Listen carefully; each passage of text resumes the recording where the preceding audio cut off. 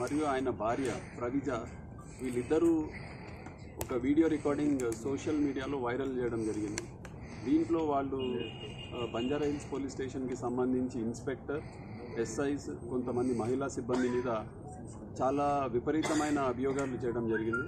So అవన్నీ కూడా ఈరోజు నేను వెరిఫై చేసిన తర్వాత చాలామంది మా పోలీస్ స్టేషన్కి సంబంధించిన స్టాఫ్ని అదేవిధంగా ఈ అట్లూరి సురేష్ కుమార్కి ఇంతకుముందు వాసుదేవ్ శర్మ అనే అతనికి వాళ్ళిద్దరి మధ్యలో ఉన్న సివిల్ ఇష్యూస్కి ఇవన్నీ కూడా థరోగా ఎంక్వైరీ చేసిన తర్వాత ఇప్పుడు మేము ఒక నిర్ధారణకి రావడం జరిగింది.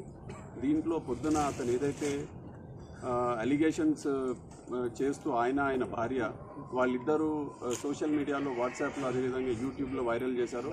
దాంట్లో ఏమాత్రం కూడా సత్యం లేదు. అది పూర్తిగా హండ్రెడ్ పర్సెంట్ నూటికి నూరు శాతం దాంట్లో అత వాళ్ళు ఇద్దరు చెప్పినవన్నీ కూడా పచ్చి అబద్ధాలని తేలింది. ఈ అట్లూరి సురేష్ కుమార్ ఈ పోలీస్ స్టేషన్కి ఫిబ్రవరి నెలలో మొదటిసారి అతను రావడం జరిగింది. ఆయనకి వాసుదేవ్ శర్మ అనే అతనికి వాళ్ళిద్దరికి మధ్యన కొన్ని ఫైనాన్షియల్ డీలింగ్స్లో భేదాభిప్రాయాలు వచ్చాయి. ఆ తర్వాత వాళ్ళిద్దరూ పోలీస్ స్టేషన్కి రావడం జరిగింది. దాంట్లో ఇతను అట్లూరి సురేష్ కుమార్ నాలుగు లక్షల డెబ్బై రెండు వేలు ఏదైతే ఉందో ఆయన మన వాసుదేవ శర్మ దగ్గర తీసుకోవడం జరిగింది. దానికి సంబంధించి ఆయన ఒక హోటల్కి సంబంధించి ఇంటీరియర్ వర్క్ చేపట్టాడు.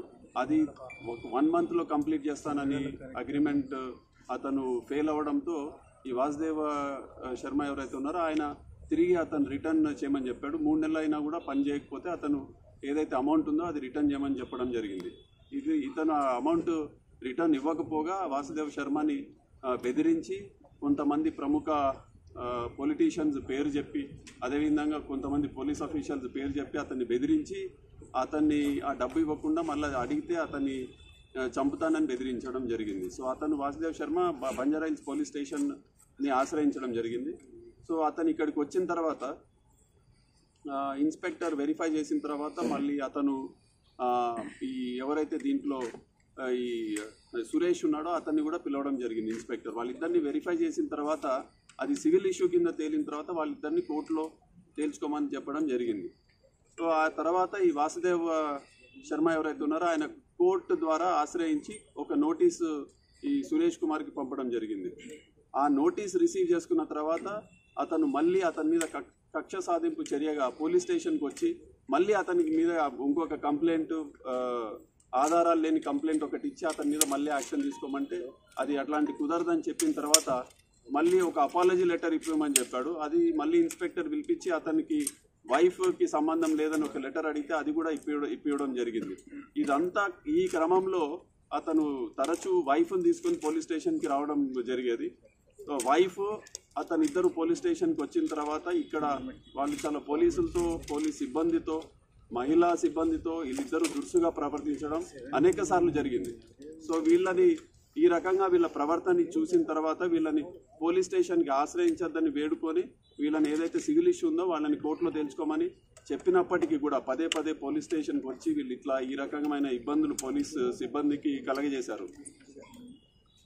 ఈ క్రమంలో ఆ రోజు ఒక ఏ రోజైతే వాళ్ళిద్దరి మీద ఒక ఎఫ్ఐఆర్ ఇష్యూ చేయడం జరిగింది అంతకి ముందు రోజు ఈ సురేష్ ఆయన భార్య ఇద్దరు వచ్చి ఇన్స్పెక్టర్ అదేవిధంగా మా ఎస్ఐస్ మహిళా సిబ్బంది వీళ్ళందరినీ వీళ్ళందరితో దురుసుగా ప్రవర్తించి ఒక ఎస్ఐ కాలర్ పట్టుకోవడం జరిగింది. సో ఇవన్నీ చూసిన తర్వాత వీళ్ళిద్దరి మీద ఒక ఎఫ్ఐఆర్ ఇష్యూ చేయడం జరిగింది. అది ఇప్పుడు ఎయిత్ ఎయిత్న వీళ్ళిద్దరిని ఒక ఎఫ్ఐఆర్ ఇష్యూ చేయడం జరిగింది. Under sections under section three thirty two three fifty three three fifty four five nought six five nought four Banjara hills police స్టేషన్లో అట్లూరి సురేష్ కుమార్ అదేవిధంగా వాళ్ళ ఆయన వైఫ్ ప్రవీజ వీళ్ళిద్దరి పైన ఎఫ్ఐఆర్ ఇష్యూ చేసిన తర్వాత వీళ్ళిద్దరిని ఆ, కోర్టుకి రిమాండ్ చేయడం జరిగింది. వీళ్ళిద్దరూ ఒక త్రీ డేస్ జ్యుడిషియల్ కస్టడీలో ఉన్న తర్వాత తిరిగి వచ్చి వాళ్ళు మళ్ళీ ఈ రకమైన ఒక చాలా బాధాకరం ఇటువంటి అభియోగాలు పోలీస్ మీద మోపుతూ ఇటువంటి వీడియోస్ వైరల్ చేయడము వాళ్ళు I think socially it is incorrect వాళ్ళు ఏదైతే చేశారో ఒక మా పోలీస్ డిపార్ట్మెంట్ అది ముఖ్యంగా బంజారా పోలీస్ స్టేషన్కి సంబంధించి ఇక్కడ ఉన్న సిబ్బందిని వాళ్ళని డిమారలైజ్ చేయడానికి కేవలం ఒక కక్ష సాధింపు చర్యగా ఈ వీడియో వైరల్ చేశారు. వేరే ఏం లేదు. ఎందుకంటే వాళ్ళని వాళ్ళు చేసిన చర్యలకి అటు ఆల్రెడీ జూబ్లీ హిల్స్లో ఒక ఎఫ్ఐఆర్ ఇష్యూ అయింది. ఇటు మళ్ళీ బంజారా హిల్స్ పోలీస్ స్టేషన్లో కూడా వాళ్ళు చేసిన చర్యలకి ఒక ఎఫ్ఐఆర్ ఇష్యూ చేశారని ఒక కక్ష సాధింపు చర్యగా కేవలం ఇది వైరల్ చేయడం జరిగింది. వాళ్ళు ఇటువంటివి నీచమైన పనులకి పాల్పడకూడదని మళ్ళీ మళ్ళీ వాళ్ళని హెచ్చరిస్తున్నాము. ఎందుకంటే దీంట్లో చాలా కొన్ని పర్సనల్ అటాక్స్ కూడా చేయడం జరిగింది. అది చాలా బాధాకరం. వాళ్ళు పోలీసు ఇక్కడ ఏదైతే ఉందో పనిచేస్తూ ట్వంటీ ఫోర్ బై సెవెన్ పనిచేస్తూ ఎంతో వేల మందిని ఆశ్రయించి ఈ పోలీస్ స్టేషన్ మీద ఇటువంటి అభియోగాలు చేయడం అంటే చాలా బాధాకరం. అది ఇటువంటివి చర్యలకు ఎవరైనా పాల్పడితే మళ్ళీ వీళ్ళ మీద మళ్ళీ దీని లీగల్ ఒపీనియన్ తీసుకొని ఇటువంటివి చేసినందుకు వీళ్ళ మీద మళ్ళీ మేము ఖచ్చితంగా యాక్షన్ తీసుకోవాలని నిర్ణయించాము. ఇటువంటివి వీళ్ళు కాదు ఇంకెవరైనా సరే ఇటువంటివి చేస్తే అవాస్తవాలు ఇవన్నీ ఎవరు నమ్మరు. ఎందుకంటే బంజారా హిల్స్ పోలీస్ స్టేషన్ ఎటువంటిది? ఇక్కడ ఉన్న వా- పరిస్థితులు ఇక్కడ ఉండే మహిళా స్టాఫ్ అతను చేసిన అభియోగాలు అటు అవాస్తవం. ఎందుకంటే హండ్రెడ్ పర్సెంట్లో దాంట్లో వన్ పర్సెంట్ కూడా జరిగే ఆస్కారం లేదు ఇక్కడ.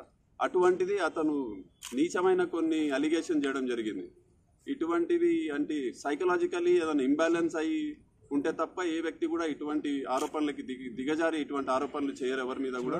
సో అందుకనే ఖచ్చితంగా ఇతని మీద మేము జుడిషియల్ మళ్ళీ లీగల్ ఒపీనియన్ తీసుకొని ఖచ్చితంగా జుడిషియల్గా ఇతన్ని అగేన్స్ట్గా మేము ప్రొసీడ్ అవ్వాలని నిర్ణయించుకున్నాం. సార్ అతని పైన ఇంత ముందుకు జుబ్లీల్స్ దాంట్లో కూడా ఏమైనా కేసు ఉన్నాయా సార్? వాళ్ళ ఇతను ఇతని మీద జూబ్లీ హిల్స్లో కూడా ఒక కేసు ఉంది. అక్కడ కూడా ఇతను ఒక ఇంట్లో టెనెంట్గా ఉండేవాడు.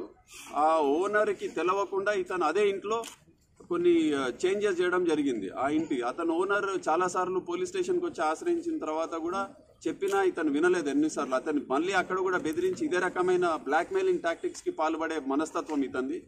ఎక్కడికి వెళ్ళినా సరే బ్లాక్మెయిల్ చేస్తాడు బెదిరిస్తాడు. వేరే వాళ్ళ కొంతమంది పేర్లు చెప్పి భయపెట్టే ఇతని ఒక ఉద్దేశం ప్రతిసారి. సో ఈసారి కూడా బంజారా హిల్స్ పోలీస్ స్టేషన్లో ఇట్లాంటివి చేయడానికి ప్రయత్నిస్తే అతను మేము లీగల్గా అతని మీద చర్య తీసుకున్నందుకు ఈ ఇటువంటి వ- వీడియో వైరల్ చేయడం జరిగింది ఈరోజు. అందుకనే ఇది మళ్ళీ మేము దీని మీద కూడా ఖచ్చితంగా యాక్షన్ తీసుకోవడం జరుగుతుంది. జూబ్లీ హిల్స్లో కూడా ఇట్లాగే పాల్పడినందుకు అక్కడ కూడా వాళ్ళు రిపీటెడ్గా మేము కౌన్సిల్ చేసినా సరే ఇతను మారలేదు. అక్కడ ఆ ఎఫ్ఐఆర్ ఖచ్చితంగా ఇష్యూ చేయాల్సి వచ్చింది అందుకని.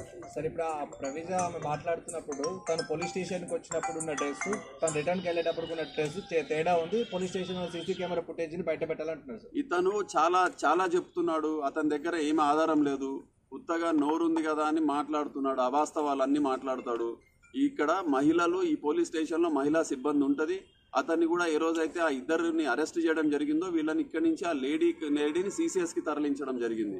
హండ్రెడ్ పర్సెంట్ లీగల్గానే ఇక్కడ ఏం చర్యలు చేపట్టినా లీగల్గా చేపడతాము. అందులో అతి ముఖ్యంగా ఎవరన్నా మహిళలు పోలీస్ స్టేషన్లో ఉంటే పూర్తిగా వాళ్ళ భద్రత కల్పిస్తూ లీగల్గా యాక్షన్ తీసుకునే బాధ్యత కూడా మాదే. అందుకని హండ్రెడ్ పర్సెంట్ ఇక్కడ ఎవరైతే ఉంటారో మహిళలు వాళ్ళకి పూర్తిగా భద్రత కల్పించే బాధ్యత మాది. ఆ రోజే కాదు ఏ రోజైనా ఈ రోజు ఇంకెప్పుడైనా సరే ఇది one of the model police stations ఇక్కడ తప్పు జరగదు జరగదన్న పూర్తి నమ్మకం మాకుంది. సరే ఐఆర్ ఆఫీసర్స్కి తను వెళ్ళినప్పుడు ఆ ఐఆర్ ఆఫీసర్స్ని కలిశారా? సార్ టీపీకి నేరుగా మాట్లాడిన ఆడియో క్లిప్ కూడా ఆమె బయట పెట్టింది కదా. వాళ్ళు మళ్ళీ సిపి సార్ని కలిశారా? ఇప్పుడు సిపి గారిని సిపి గారితో మాట్లాడానని ఆయనే చెప్తున్నారు కదా. ఆ వీడియోలో ఆయనే చెప్తున్నారు. ఆయన ఎవరిని కలిసారో తెలియదు నాతో కూడా రెండు చాలా సార్లు నాతో కూడా ఫోన్లో మాట్లాడాడు.